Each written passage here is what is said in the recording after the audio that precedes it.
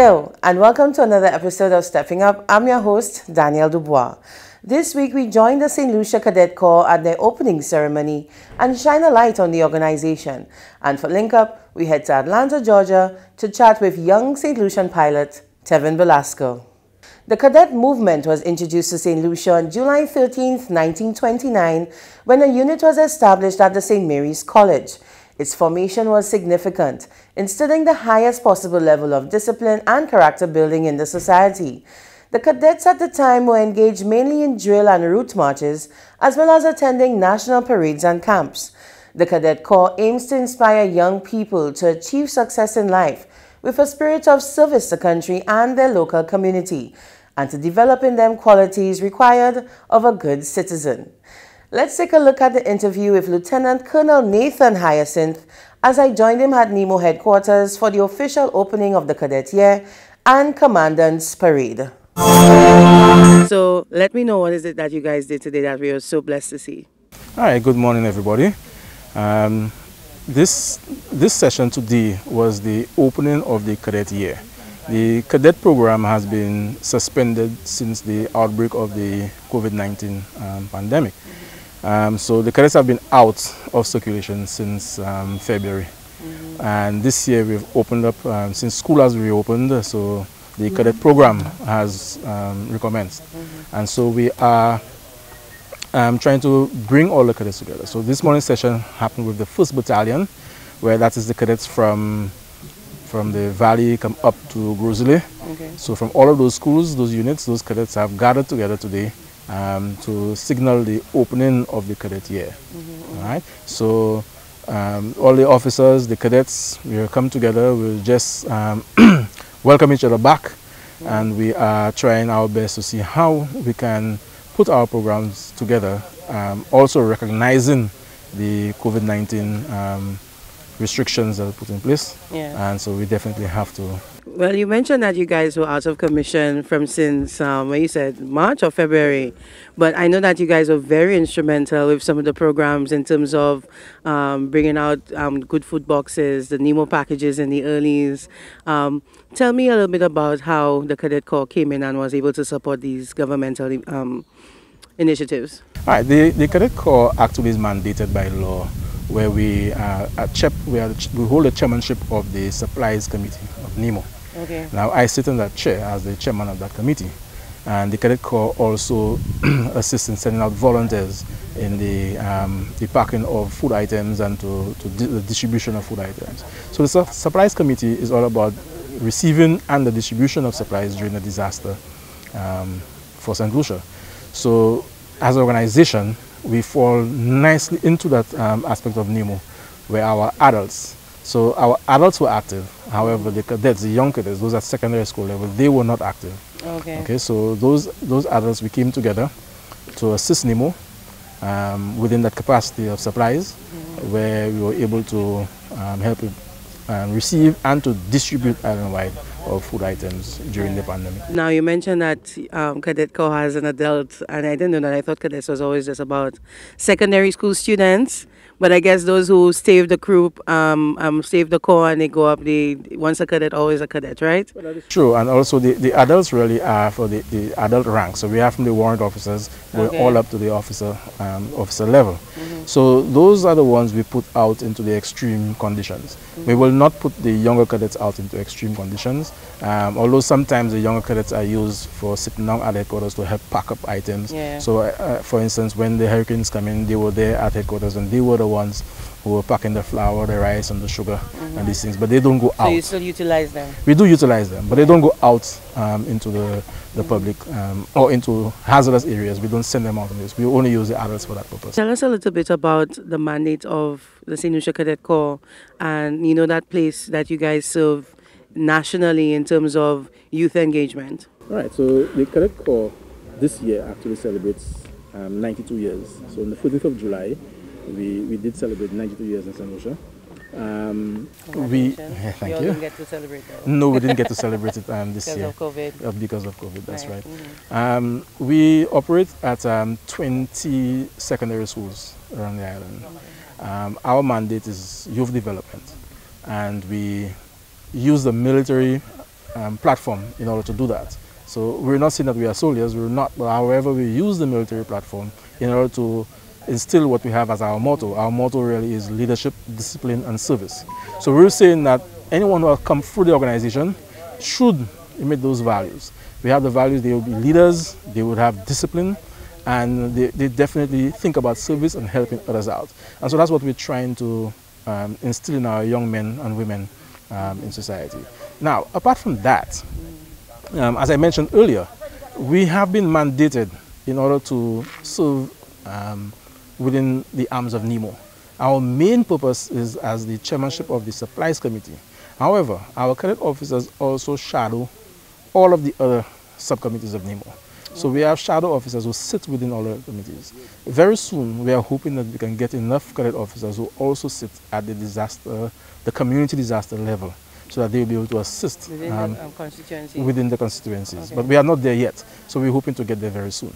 Okay, so we're hoping that um, as an organization, mm -hmm. we continue that mandate that we have, and we, we are looking to see how best that we can continue to serve St. Lucia within the capacity that we have. St. Lucia is quite unique. Yeah. We're not like all of the other islands in the Caribbean, those, especially those who have defense forces. Yeah. So the defense forces really are the ones taking the lead. Mm -hmm. But in St. Lucia, we don't. So yeah. St. Lucia, the Cadet Corps really takes the lead in that. Mm -hmm. So anything having to deal with disasters, anything having to do with that, we are here with NEMO as the volunteers for NEMO in order to assist them in moving forward. So as we conclude the interview, let us know what's next for the St. Lucia Cadet Corps with the whole advent of COVID. Right. Um, COVID has put us in a unique situation where we are not able to meet face to face as we normally do.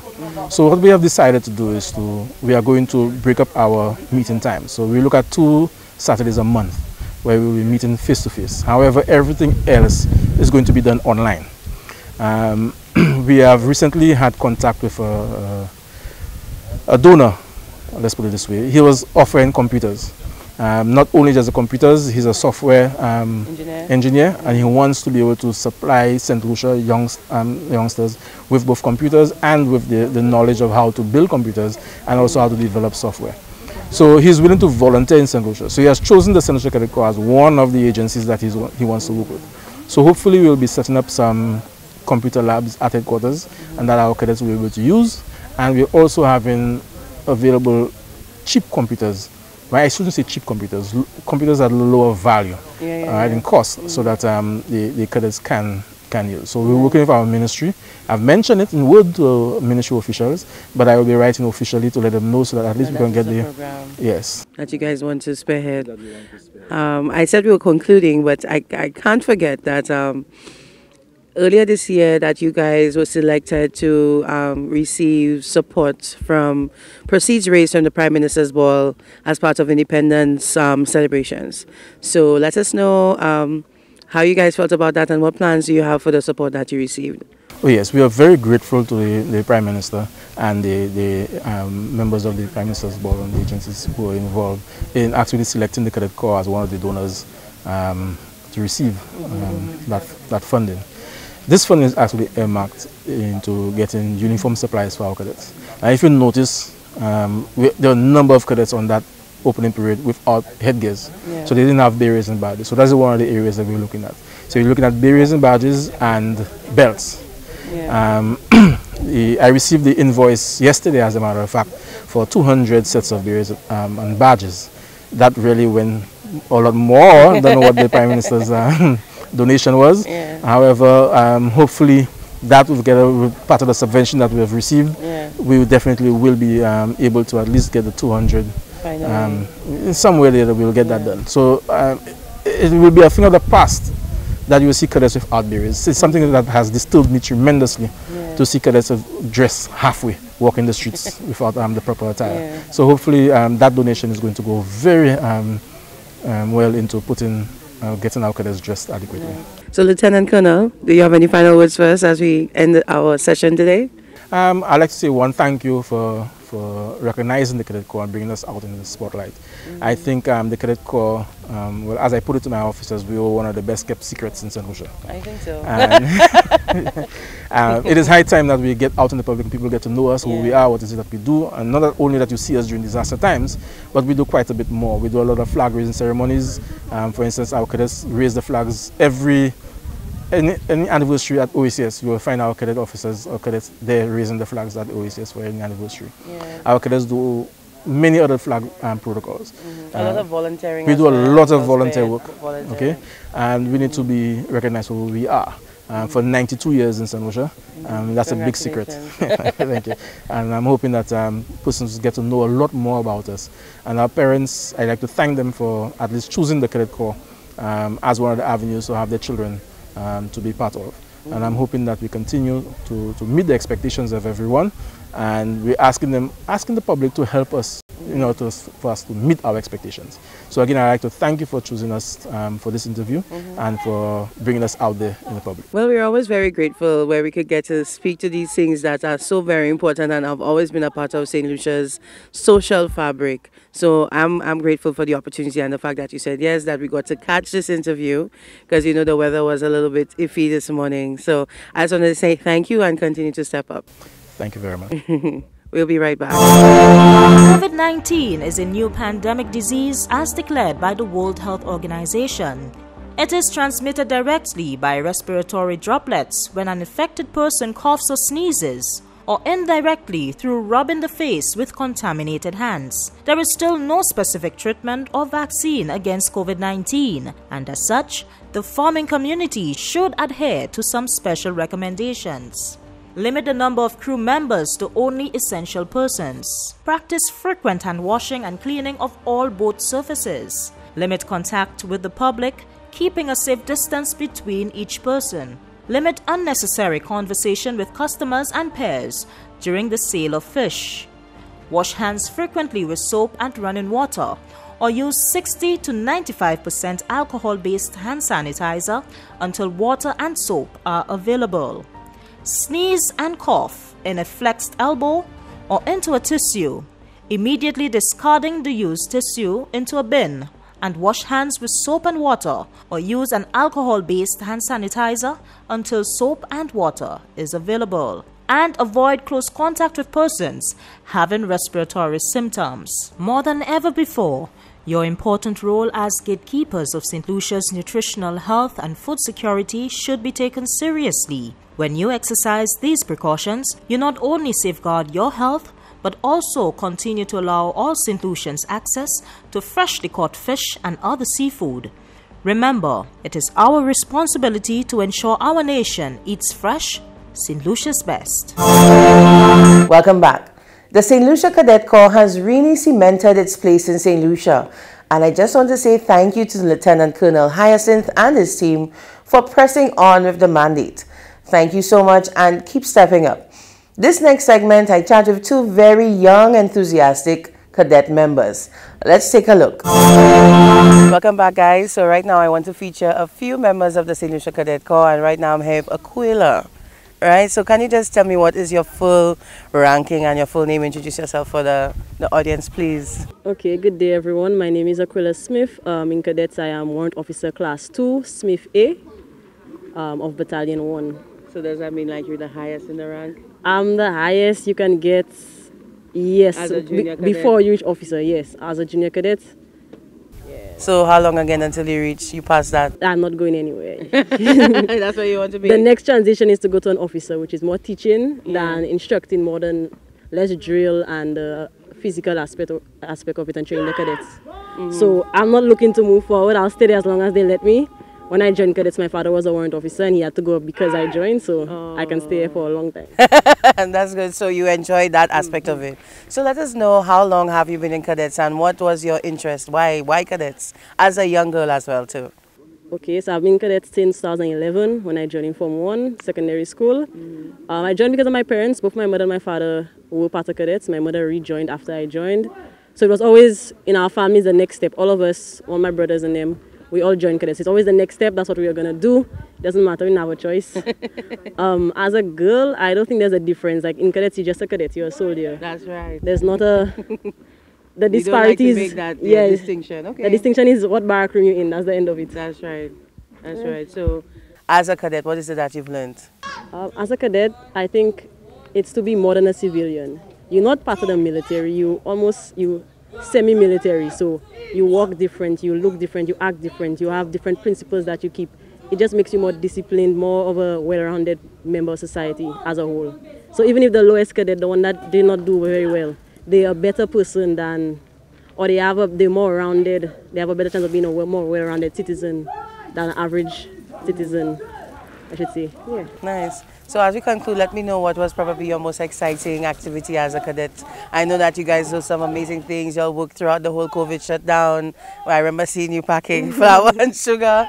Um, but I know before that, you know, tell us what what what comes to mind when you have to think about your best experience as a cadet. Uh, my best experience, I don't want to say shooting because that's cliche. All cadets' favorite part is shooting. but the best part, honestly, is obstacle courses and the different FTX and um, activities. So that's like physical challenges that they give cadets. But it's it's the, another level when you go to another country and they have full military bases that you can train on and you can do these little um, challenges on. Have you ever been able to travel? Yes, to I've traveled three times. One where I was leading the team, but yeah. Where did you go? I went to Barbados the first time I traveled. Um, the next time I went to Jamaica, and the last time I went back to Barbados with another contingent, another contingent of cadets. But the best part is the is the physical um, challenges, the different um, competitions they put us in between each other. Physical, like I cannot do pull-ups, but it's more than just that. It's running and this and relying on your teammates and stuff like that, finding objectives. So it's it's everything, mental and physical. How excited are you as the school year was finally able to um, open? And what's next? I'm looking forward to the new the new classes and the increased material that we'll have, especially as we're moving more to online teaching and stuff like that. I'm looking forward to more of the academics part of cadets taking part because we'll not be able to do drill as usual mm-hmm. because of the amount of cadets we have. So it'll be mainly classes and stuff. So I'm looking forward to that. We're gonna have something new. We're gonna have new things to teach the younger cadets and new experiences to make that'll be different than what I experience, what other people experience. It'll be a new form, a new breed of cadets. Wow, you're making me feel like I want to join cadets now. well, okay. well, thank you so much, darling, and keep stepping up. Okay, what's what's the full the full um class um that you're in? A warrant officer class two, Smith E. All right. Thank you very much. so we have another cadet, and I would allow him to introduce himself. Um, hello everybody, my name is Lance Corporal Mondesi J. I've been in the Corps for nearly three years. I joined in 2017. And yeah, basically I have a love and hate relationship with cadets. yeah, because basically, you know, you love the uniforms. You know, you like the status. Well, not really a status, but like, you know, people looking up to you. prestige that comes Yes, yes. But at the same time, it's the physical work. you know, the high demand. you know, expect you to be disciplined all the time. Not all of us disciplined all the time. But yeah, so But you enjoy that though, nonetheless. yeah, of course I enjoy it. You know, because at the same, at the end of the day, you don't have, you have the, you have a higher, you know, what, what do they call it? Um, Confidence, not confidence, but respect. you have like a higher liberty like other children would, you know. like you know more, like it's let's say you you know more stuff in the military. You and survival skills. yes for survival skills. For let's say mm, let's say um Iran on you know Trump. Something happens in Saint Lucia, you know, we know how to survive. It's true. So tell us, um, what made you join cadets in the first place, though? Well, basically, I I joined cadets because you know I was inspired. You know, I like to see like the U.S. Army and the British Army. I've always like been inspired by them, and like when I joined, when I came in secondary school, I found out they have cadets. I say, wow, they have cadets, and I just instantly joined because I already love the military. I love everything too. Well, you know, if you love it, you know you have to love the hard work too. so talk about. Um, let me know what was your most exciting experience as a cadet with your your short stint compared to other persons here. Three years, right? Well, one of my best experiences was, was Independence Parade. You know, you you like a peacock. You know, you're looking nice. You know, marching, everybody looking at you, everybody clapping. You know what they told us? They told us people don't come to see the police officers march. They only see they come to see us march, the That's cadets. right, that's and that right. makes that you know it boosts your ego a little bit, you know. it boosts your ego a little bit. So Uh, so, as we conclude, what would you tell your friends to tell them to join? What is what What would you say to them to say, "Hey guys, join the cadet corps"? you know, there's a lot of like conspiracy thing. they're going to drop you in a forest and leave you there for three days. That is not true. that is not true. Just, just you know, anybody that going current, you'll know me. If you're if you're afraid to join, come and ask me questions, okay? That's right. You don't be afraid to join cadets. Yes, they'll shout at you. you know. yeah, yeah, you, you'll be able to do a little push-up and thing, but it, it'll get you stronger. but me right now, I, I can't do push-ups because the summer get me with COVID and So you you get there, you get there. All right, well, so thank you so much. I was I enjoyed this interview passionately. The passion, though. So, do you think it's something that you'll grow up and you'll probably you want to go? Because my mother told me as soon as I leave school, I joined the I joined SSU. So All right, so you know you have to. Mm-hmm. no joking around. Well, thank you so much, darling, and continue mm-hmm. all the good work. Wash your hands. Wash them right. with soap and lots of water. Get between fingers, get under the nails, go above the wrists. Do this for no less than 15 seconds. Rinse properly. Dry with a clean towel. If there is no water, do the same washing motions with an alcohol-based hand sanitizer containing at least 70% alcohol. Wash your hands. Wash them right. This message brought to you courtesy the Bureau of Health Education of the Ministry of Health and Wellness. Now it's time for Link Up. This week we chat with Tevin Belasco, a St. Lucian pilot who is immensely proud to share his story and says that anyone can achieve and soar to greater heights once they work hard, persevere, and don't give up. He recently celebrated a major milestone in his career and shares with us his story. Tevin, how are you? I'm doing good, thanks, Il. How are you doing? I'm okay. I'm okay holding on. So I know recently you and another St. Lucian pilot celebrated a really important milestone, not only for St. Lucia but the US. Um, so that's why I felt it was, you know, kind of prudent to reach out to you. Um, but let's start from the beginning. Tell us a little bit about your childhood and your love for aviation. My name is Tevin Belasco. I was born and raised in Granny Vic, Rosalie. I attended the um, Anglican Infant School, then went on to the Anglican Primary School, then later on went to the Bocage Secondary School. After um, completing my five years at Bocage, I went to the Sir Arthur Lewis Community College, D-Thames Division, to study building trades. And after building trades, then I pursued my uh, career in uh, aviation in Atlanta, Georgia. So my my childhood was very I was a very family oriented person. My my parents always showed equal love to both of my, my brother and myself and always told us we could achieve anything that we wanted to be. So that really pushed me to achieve becoming a pilot. Nice. And what was the journey like? Um, you say you so you're a pilot. So after you left school and you started your journey, what did you have to do to be able to get accredited or you know trained, etc.? Let us know about that aspect of it. Yeah, so my interest in aviation began at a very tender age where my mother and I used to visit my father very often in Trinidad. And every time I get onto the airplane, I always used to stick my head inside of the cockpit to wonder what these guys were doing up there and what it was like to actually be flying up there. So later on throughout the years, my godmother introduced me to um, Sylvanus Ernest, which is also known as Squeezy, and he invited me to his hangar at George Charles Airport to get a hands-on experience of how the airplanes operate. And from there, that's where my interest in aviation began. And you know how long, how old were you um, when that happened? Uh, during that time, I was going by Sylvanus Ernest. I was in secondary school. Yeah, I was in public form two, form three. And then how did it continue to grow? and it continued to grow by taking just decided i wanted to go to flight school and stop procrastinating. And i actually you know this is what i wanted to become. So i moved to um, atlanta georgia by my aunt and visited a couple flight schools. And that's where i went to flight school. So when i started flight school in 2015 uh, i started becoming a private pilot where you get the basic fundamentals down, then you do your check ride. So I actually became a, a private pilot from there. And then I went on to do um, my instrument training, where it's basically teach you to fly like blind in the clouds, low visibility in in clouds, etc. And then I moved on to becoming a single, uh, commercial single engine pilot, where now I can actually make money of being a pilot. After that, then I did my flight instructor certificate where I could now teach people how to fly and to become pilots. So I used that instructor license to build my time to 1500 hours, which is the requirement that uh, the US needs to go to uh, airline. And that is where I am today as an airline pilot. 1500 or 15,000? what's it? 1500 hours. Okay, okay, okay.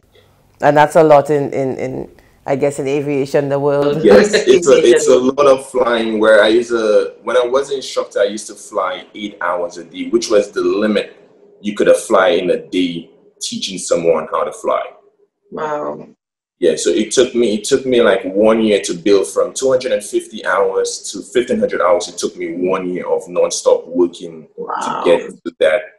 Are you there yet? What's what's your hour count now? Right now, I'm at 2,150 hours. Nice. Yeah, so this is it's still small compared to others, but it's a good achievement right now. Great achievement. How do you stupid question? How do you like clock your time? Does somebody do it for you, or you do it yourself? No, basically it's uh, in the airplane. There is an in and out time where when the plane push back from the gate, when the, the parking brakes is released, that's when the time is start to, to, to count as your mm. flight.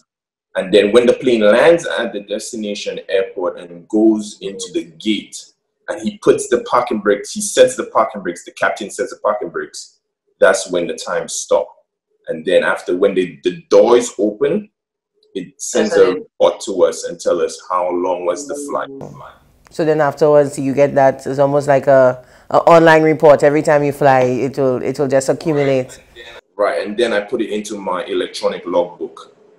Okay. Yeah, so every pilot has an electronic logbook because every airline wants to see how much time that you have, and that's how you determine to go to another airline is the amount of time that you right. have. So Tevin, you tell me. Mm-hmm. You tell me now, sorry to cut you short. you tell me now that you have a pilot license and you you basically surpassed the 1500 hours. How what's next for you? What's what's the next goal, Tevin? Uh, my next goal is to reach to a thousand hours flying the jet that I fly, is Embraer 175. Uh, so right now I have 560 hours in the plane. So when I get to a thousand hours, I'm eligible to upgrade to become a captain on this on this um aircraft. Nice. All right. Okay, nice. So you want you still interested in flying commercial? Even though right that's now, the end game. Yeah, that's the end goal. Even though the pandemic has hit us very hard, where I almost lost my job. Right. And we had to go into agreement with the union where they they decided to cut our pay by eight hours. Wow. So everybody could have kept their job and to avoid furloughs. Yeah, right, right, right. So yeah, we as a company agreed that we're gonna take a pay cut to keep everybody safe from getting furloughed. Yeah, that's true. So that at least it's the bare minimum, and you just have to hold on until things get a little bit better, I guess. All right. What message do you have for St. Lucians or anyone who is young people in particular still figuring out what they want to do in life, seeing that, and I know your journey because I remember you used to always just go by the, go by the airport and watch planes, and we used to laugh at you. Uh, we used to laugh at you, but you know what, Evan? I always knew like you see that way mate like so obsessive planes. He he will become a pilot, and you remember I always say like, "Wow." Like I'm just so inspired by your journey. So what what do you have to tell young people who are still figuring out what it is that they want to do and how they get to it? Well, my advice for the young people is to find a career that they actually love. Something that they're passionate about, you know, learn and master the trade. Find a mentor in that field that could help you get to your higher level in that field. You know, um, for example, like I went to Bocage Secondary School, and a lot of people said that people that go to that school won't become anything in life, you know, because of the bad reputation that they had at Bocage Secondary School. So where I am today is because of perseverance and uh, being committed to one goal. Like you said, everybody know from St. Lucia where I was obsessed with planes, where I was sitting by the fence all day in the hot sun watching the plane take off and land, you know. And you know, it, it doesn't matter what school that you go to, you know, it's just you being determined and being focused. So just stick to one thing in life and that you like can to achieve it. Mm-hmm, mm-hmm. And um, not to say to correct you, but you know, Bocage, I won't say Bocage has a bad reputation, but St. Lucia has this thing like they grade schools according to prestige and stuff like that because, you know, I remember you going to Bocage, so you're like really like a good success story. So you should probably explore, probably going back and like trying to do a little, you know, and to help and inspire. I actually did. What did you do? Uh, actually did went back to Bocage. One of the teachers called me when I was actually coming home for like just four days, and she told me if I would stop by by the school, and I did. So I was in my full pilot uniform. And why, why, why, why? And when and when the other um, teachers saw me that they were teaching me back then, they was like so happy and amazed to see me. Like Tevin, I can't believe that's you, and you were full time yeah. pilot. And then literally I had to speak to one class and the teacher's like, no, you gotta teach um talk to the whole form five. So they open up the auditorium for me to, teach, to talk to the to the, the, the, children. So that was a good experience. I thought they were really inspired. Right. It doesn't matter like if you go to Bocage because they had the same perception thinking that when they come to Bocage, like they cannot become nothing in life. Yeah, so I think that's an important, uh, important um, um point that you're making, Tevin. And how old are you? I um, I hope you're not shy to say how old are you. I'm 28. 28. Nice. I'm so proud of you. so before we wrap up, just recently you celebrated a milestone not only for St. Lucia but the US. Tell us a little bit more about that. And we know that the Prime Minister gave you a little bit of a shout out. And you know, we always watching because is it um, Kevin is the other guy? You know, you know, we follow you. I follow. I follow him. I follow you as you know when you have your you know your aerial photos and stuff like that. So let us know about the milestone and why is it so significant. Well, it was amazing. You know, flying with another St. Lucian in general is a dream come true. And you know, there's not many of us in the US, especially flying at the same company. So flying with Kevin was just a matter of timing. I remember when I just uh, went into the company and I met Kevin. He was a first officer like myself, and he was just about to upgrade to become captain. And I was letting him know, like, man, you know how much fun it's gonna be if the two of us actually flying a plane together as captain and first officer and say like man that's gonna be crazy. So it, it was an astonishing achievement to actually make it happen so soon after he upgraded to become captain. So it was a unique experience. You know i just want to clarify that we are not the only St. Lucians flying in the us we are the first St. Lucians to actually fly a plane together in the US. I know I have a friend of mine named Gianni. He did the first flight, I can't remember, with two, he and another St. Lucian in the UK. Mm-hmm. So I just want to clarify that we are not the first St. Lucians to ever do this. We are the first ones to do it in the US with passengers. Nice. Well, congratulations. And I'm sure that has been, I guess you manifested that because everything that you said you wanted to do, you went ahead and you did it, Tevin. That is not, yeah, that is an amazing feat. And like, just want to say congratulations and all the best. So, before we wrap up, do you have any final messages for us? Do you have any shout outs for your family back home? I'm sure the Velasco family is watching and they will be watching. I want to say hello. How are y'all? because it's been so long. Yeah. So as you wrap up, what is it that you want to let St. Lucia know, Tevin? Yeah, like I said to the youth, just stay focused, stay determined. Um, stick to one goal and definitely push as much as you can to achieve it. Big shout out to my family, my parents, Lindy and Emma Belasco. Big shout out to my wife, Alasa Belasco. She's really been a tremendous help, especially when I'm not around, and she's holding down the household for me as I'm on my four day trips. So big shout out to them and my family. Much love to everybody that been supporting me and that knew where I came from and where I'm at today because they saw how persistent I was standing by the fence um, in George Charles, running down to Vieux-Fort to watch a certain plane land because of a special livery, uh, Sylvanus Ernest. Big shout out to Mr. Kirby Toussaint. Uh, he was the assistant general manager for um, George Charles Airport. He allowed me to to go to the the tower at George Charles. So yeah, if it wasn't for for him and Sylvanus, you know, pushing me. Yeah, and just getting that little opportunity of support. Yeah, definitely supporting my dreams from very tender. You know, Mr. Toussaint always said, like Tevin, I know you'd always become a pilot because you were so determined and so eager to learn the stuff. Where even though I was my week was ended at the tower, I always used to call him and let him know, can I come back just to see the operation, how it's done. So, so big shout out to all of them. Tevin, I want to say thank you so much. St. Lucia is proud of you, and we look forward to welcoming you back home, hopefully. hopefully, hopefully, it will be with another St. Lucian flying a, a bigger airline. It's going yes. to be a parade. And we have to come and look for you HIA. yes. Interview from the plane when we landed at Hewanorra International Airport. That's right. So that's, that's the next one. That's the next that's thing. The next, the next goal, thing. Yes. That's the next thing. Well, Tevin, thank you so much and all the best. Thank you so much, Daniel. That's it for this week's installment of Stepping Up. Don't forget to send me an email at steppingup758 at gmail.com. Thanks for joining me. I'm your host, Daniel Dubois. Keep safe. See you next time. And until then, keep stepping up.